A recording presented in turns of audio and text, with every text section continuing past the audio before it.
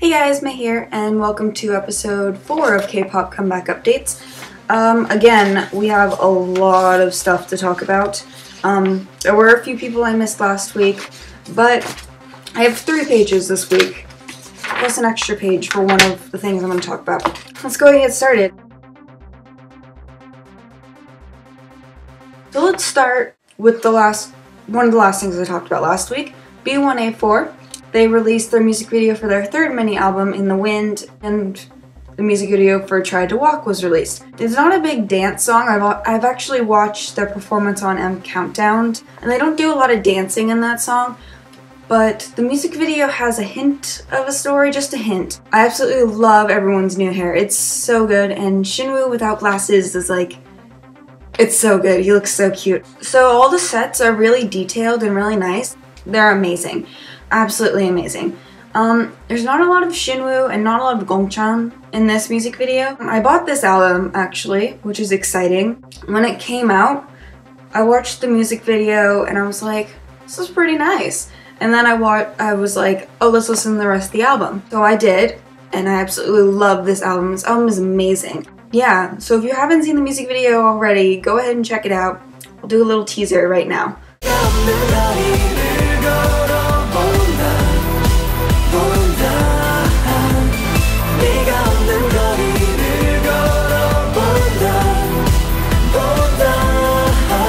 Next we have Son Dambi, and um, I didn't I didn't talk about this last week. It's one of the people I should have talked about, but I didn't. She came back with her fourth mini album titled Dripping Tears, which is the title track, Dripping Tears. It's the same name. There are five songs on this album, and there's also a remix of Dripping Tears, which they're calling a G remix. Um, it is her first time releasing an album in almost two years. The music video is out for this. It starts off seeming like a kind of sad, slow ballad song, but it actually turns into like a ballad dance track.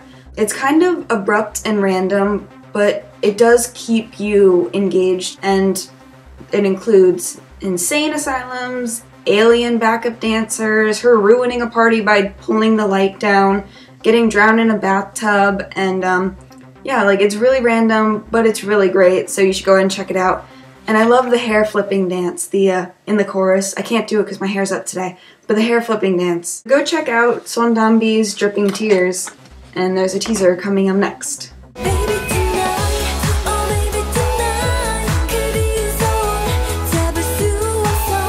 Next is um LED Apple. It's another group I should have talked about last week, but I never ended up doing it because I didn't know about this comeback. So I believe this is a digital single album. Um, I love the whole concept of this music video. I thought they were zombies at first when I first started watching it. They're all kind of like heads down, kind of swaying arms back and forth, kind of dead looking. But they actually end up being robots. And I love the special effects in this music video. Their faces like shimmer like they're supposed to be robots. And the song is really good as well. Yeah, it's a pretty dark song, but it's also really cool. Um, go ahead and check it out if you haven't already. And here's a little teaser right now.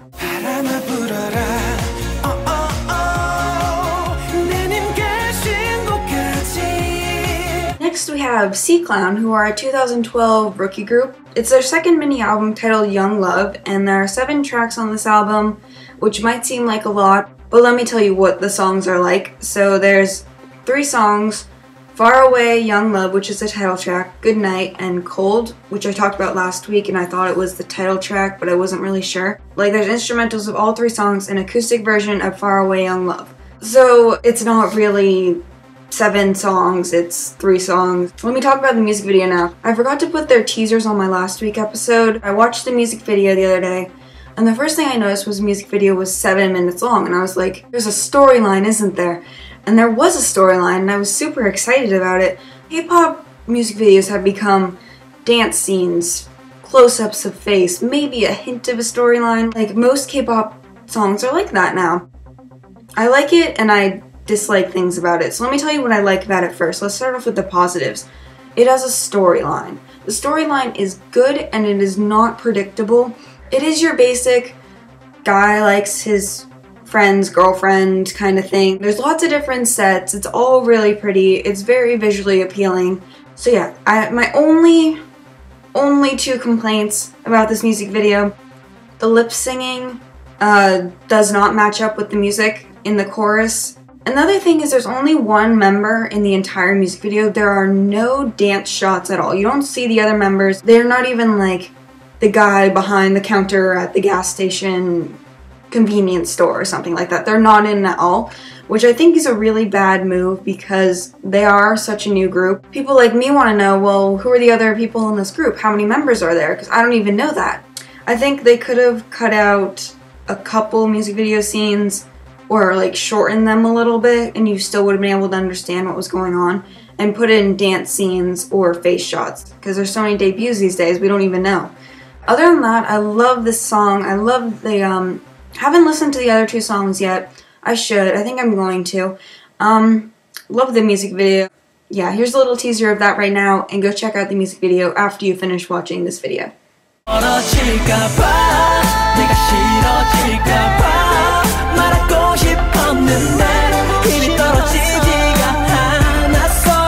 Next we have A-JAX, and they're coming back with their first mini album, To My Ex. Um, they've had two single albums before, they are a 2012 rookie group. There are seven songs on this album. There are two songs from their first single album, Hot Game from their second single album, and then three new songs plus an instrumental of To My Ex, which is the title track. To My Ex is supposed to be a response to Sonyeoshidae's Run Devil Run. Um, a lot of people are saying SNSD song is better, but it's not supposed to be better, it's just a response, which is really cool. When I first started getting into K-pop, watched a lot of K-pop parodies. I don't know if anybody has seen Kaisung 80, I think it's Kaisung 85's um, parodies of Run Devil Run and Super Junior's It's You, because Super Junior's It's You was the response to Run Devil Run. They were like a two-part thing. I've been waiting for a response, a real response to SNSD's Run Devil Run for the longest time. I think people don't like it because it kind of has an older K-pop sound to it. Um, it sounds like something that was released in the 90s in um, United States. I actually did not watch on the official channel. I'm really sorry. I watched the translation first and I was like, this is so much like Run Devil Run. Like they have the same things.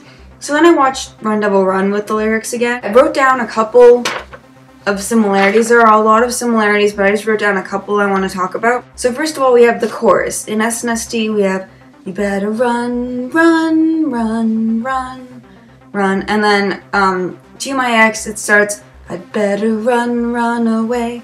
Right before the chorus, there's You're boring, you have no manners, you're a devil, you are. From SNSD Run Devil Run.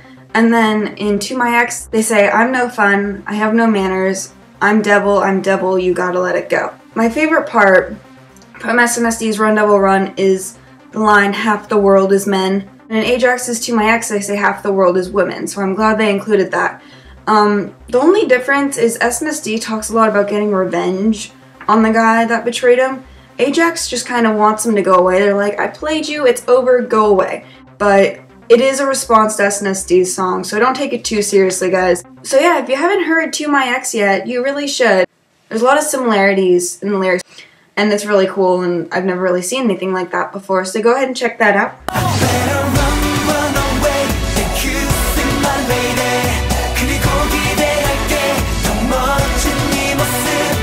So next we have Dal Shabet, who, like I said last week, came back with their fifth mini album, Have Don't Have.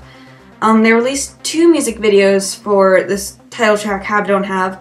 They're calling them the Have version and the Don't Have version. The Don't Have version takes place in a Korean um, marketplace with a bunch of random ajumas and ajashis just walking around being random.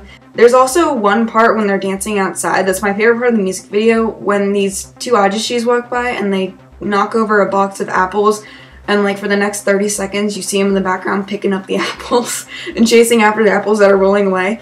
I love that part of the music video.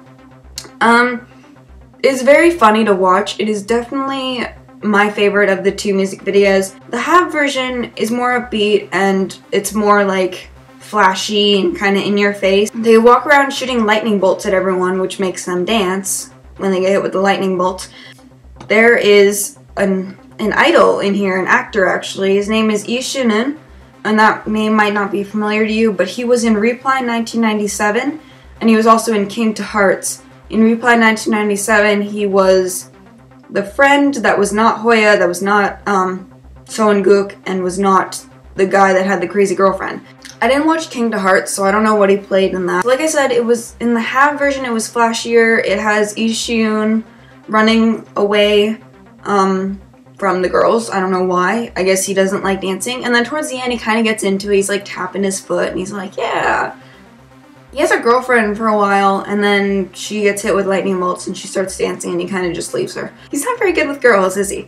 So yeah, go ahead and check out that music video if you haven't already. Um, I'm going to do uh, teasers of both of them because I think both music videos are worth checking out. They're both very different, but they're also very similar. So go ahead and check those out.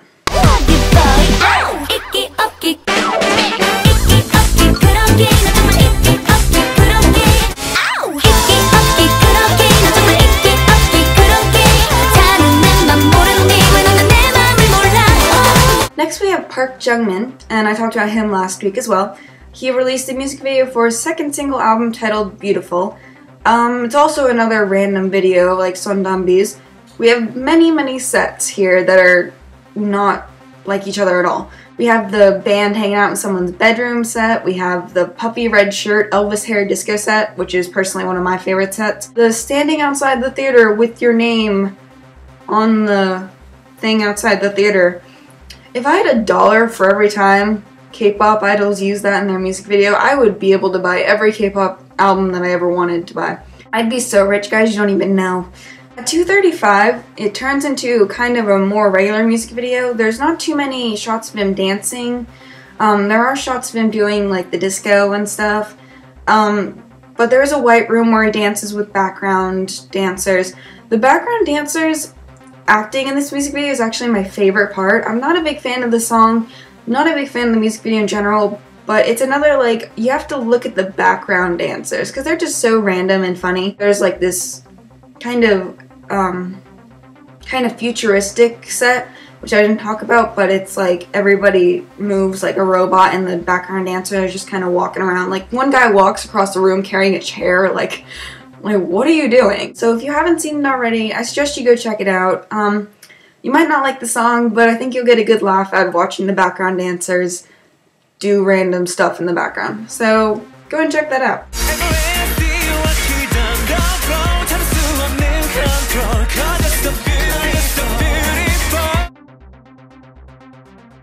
Next, he is back again third episode he's been in my K-pop comeback updates. Not that I don't love talking about him, it's just I just keep Woollim is really dragging this out.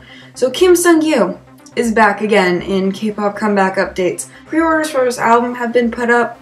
Two teaser videos were released this week, which is really exciting. The first one that was released had a storyline and it was kind of this girl kind of waiting for someone and then somebody's hand has like water, rain dripping onto it and then L from Infinite shows up with an umbrella. And people are thinking that the hand that reaches out is Sung-gyu's hand.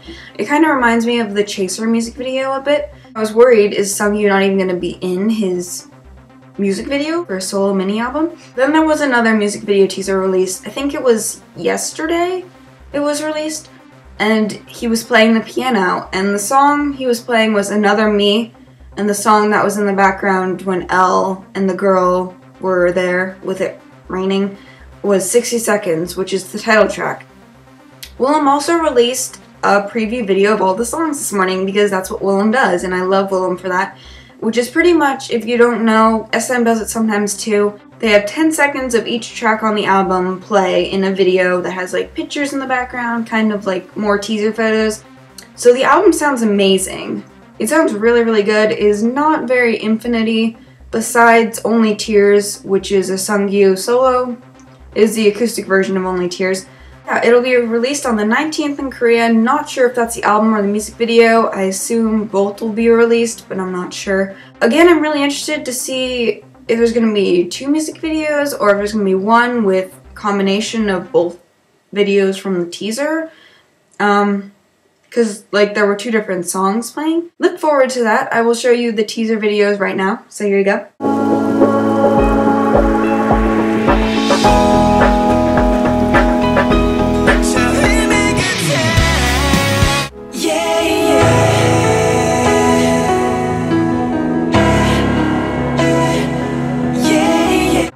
have, um, not sure how to say your name, so please forgive me if I totally ruin it, Juniel. And she is coming back. She debuted earlier this year with Illa Illa. Um, she's coming back with her second mini album, One and One. There are five songs on this album. The title track is Bad Person. Uh, a few songs like Happy Day, Boy, and Cat Day were released on our Japanese mini albums and have been translated into Korean and are going to be released on this mini album. This album will be released on the 20th in Korea and the 22nd on online music sites like Yes Asia and KPopTown. So yeah, there's really nothing out for that yet. Um, I don't know what to show you guys. I will see if there's a teaser video out. I don't think there is one yet. But yeah, so look forward to that.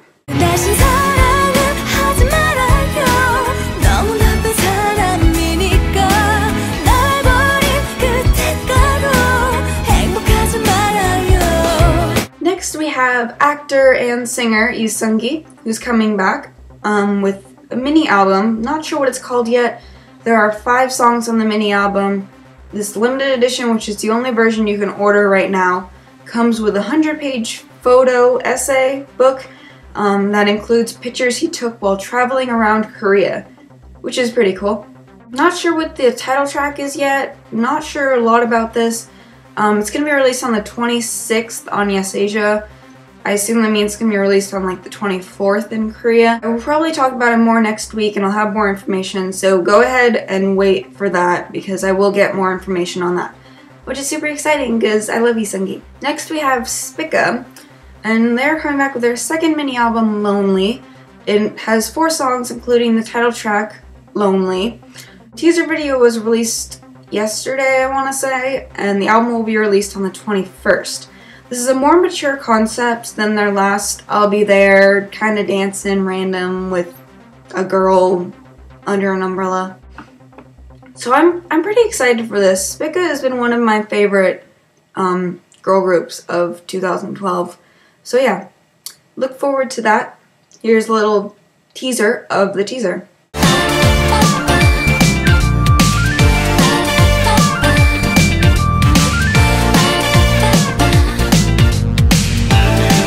Finally, this is a long way off, but I felt it was necessary to include in this video because it is some pretty exciting news.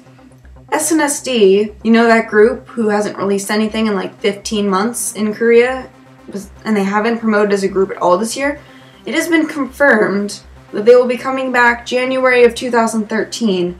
So don't expect a Korean comeback this year, guys, but next year SNSD will be back in January. Um, they have had some pretty good releases in January. They've done well in the charts like Gee and O. I'm pretty sure O was in January. But yes, those have been released in January and they did really, really well in the charts. So hopefully this will be a full album because they have been gone for 15 months, which is a long time. There were no promotions in all of 2012. Um, Tae did promote Twinkle, but that was about it look forward to that, Sones, because that's coming your way. I know everybody's waiting for a Korean comeback. I don't have anything to show you for that right now, just that information, but hopefully that'll get you psyched for January. So yeah, that was um, that was it for this week's K-pop comeback updates. Again, if you have any feedback, let me know in the comments below. If you have any, um, if I missed anybody, I don't think I missed anyone this week, but if I did miss someone, go ahead and let me know. Um, this week, my question is, who is your queen of K-pop? Because a lot of people refer to Son Dambi as the queen of K-pop, but I know a lot of people consider BoA to be the queen of K-pop or Lee Hyori to be the queen of K-pop. So who is your queen of K-pop? Go ahead and let me know in the comments section below. Um, and I'll see you guys next week. So go ahead and subscribe if you haven't already for more K-pop comeback updates because I release them every week on Sunday. So yeah. Bye guys.